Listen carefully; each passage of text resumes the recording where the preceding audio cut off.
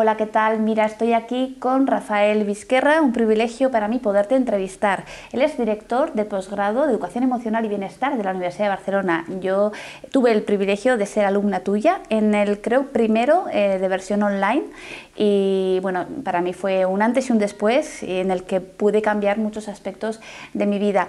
He tenido, bueno, pues la, la, fortuna de enterarme que venías a Pamplona y entonces eh, pues necesitaba entrevistarte porque creo, Rafael, que tienes muchas cosas y muy interesantes que contar, contarnos entre, entre tantas cosas que, que puedes decirnos. Eh, has creado una fundación, la RIEP, la Red Internacional, ¿verdad? De educación emocional eh, y, bienestar. donde, eh, bueno, tú nos lo vas a contar mejor, pero nos has invitado a distintas personas de distintas partes del mundo a participar de esta fundación para difundir la educación emocional. ¿Es así, Rafael? Así es. ¿Qué nos puedes contar de esta fundación? Pues la RIEP es la Red Internacional de Educación Emocional y Bienestar.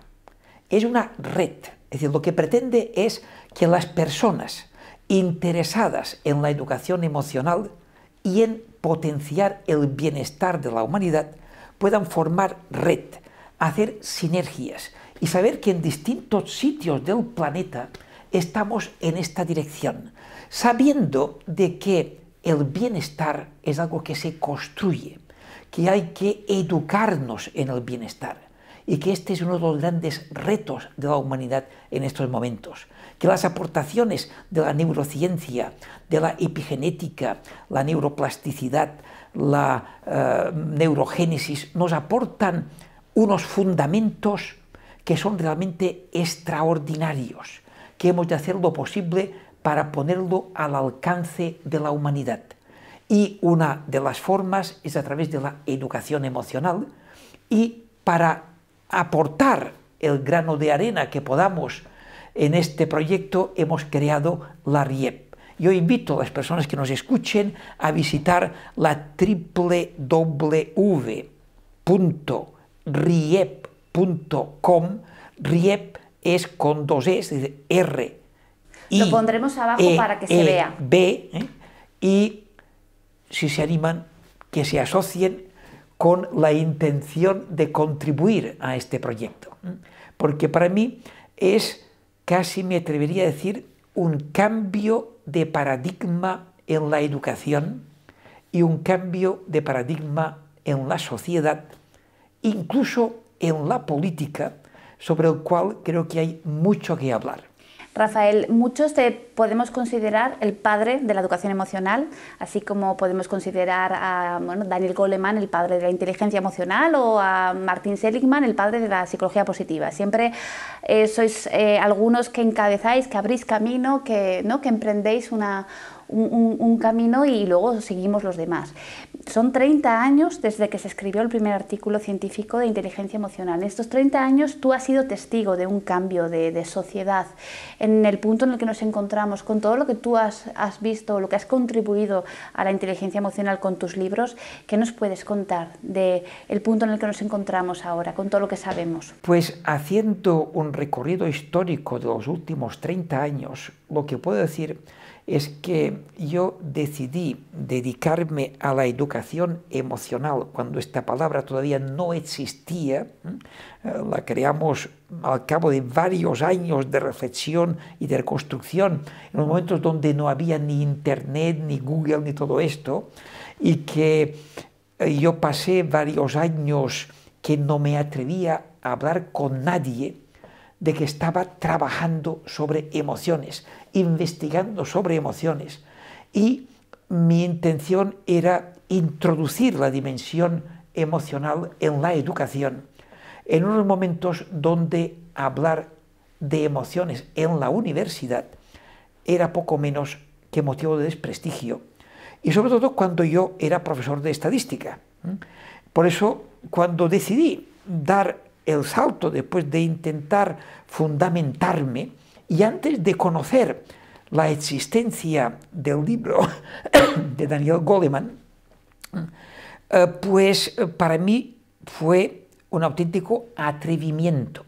Como anécdota histórica, podemos contar que en 1997, Cuando después de varios años de fundamentación decidí crear, junto con un grupo de compañeros, este grupo de investigación, sabiendo que nuestra línea de trabajo sería la educación emocional, no nos atrevimos a poner el nombre de educación emocional en el nombre del grupo, porque todavía no era aceptado académicamente y por eso pusimos Grupo de Investigación en Orientación Psicopedagógica.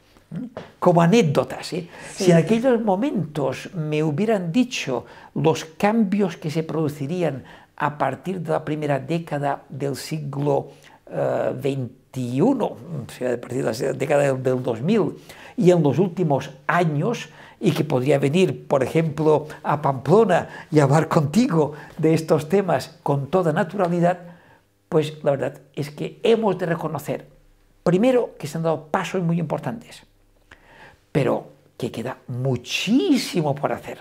Se han dado los primeros pasos.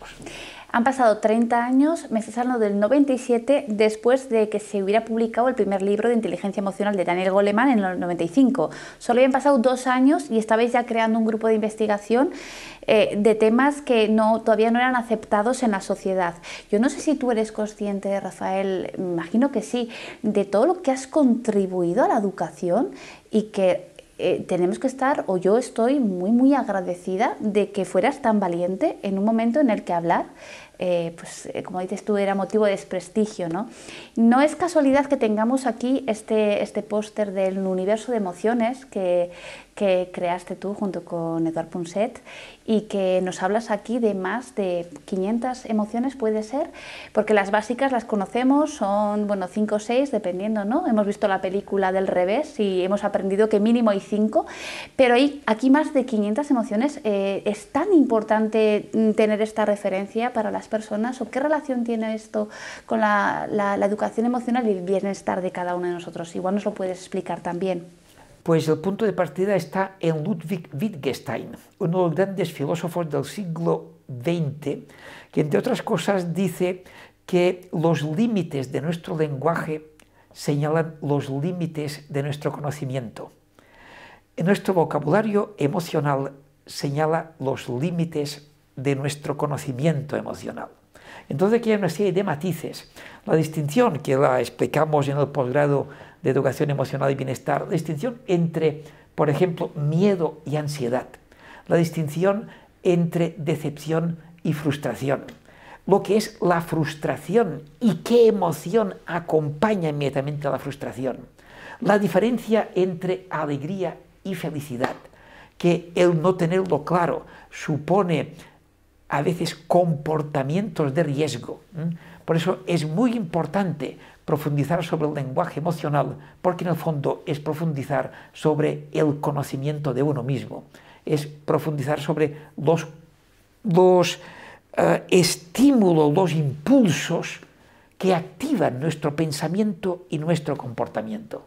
Hablabas de que el bienestar se construye. Entonces, una forma de construir ese bienestar es también ampliando vocabulario emocional, ampliando conciencia emocional y sabiendo cómo crear esas emociones positivas ¿no? que nos van acercando al bienestar emocional. Rafael, ¿cuántas eh, cosas te quiero preguntar? Eh, ¿Qué temas más interesantes estamos tocando? Pero bueno, yo creo que vamos a dejarlo para la siguiente entrevista, donde quiero hablar de tus libros, quiero hacerte alguna pregunta más y quiero que profundicemos en por qué hoy en día la educación emocional no es una moda, es algo que tiene mucha fundamentación científica, eh, hay cada vez más personas que se dedican a investigar y a darnos datos empíricos de, de su importancia y bueno, pues de todo esto vamos a hablar en las próximas entrevistas. Gracias, Rafael. Muchas gracias. Gracias, Leticia, por impulsar todos los proyectos que estás impulsando.